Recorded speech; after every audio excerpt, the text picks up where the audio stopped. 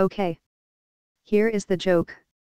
Yo is so fat, when she goes to Taco Bell, they run for the border. Ha ha.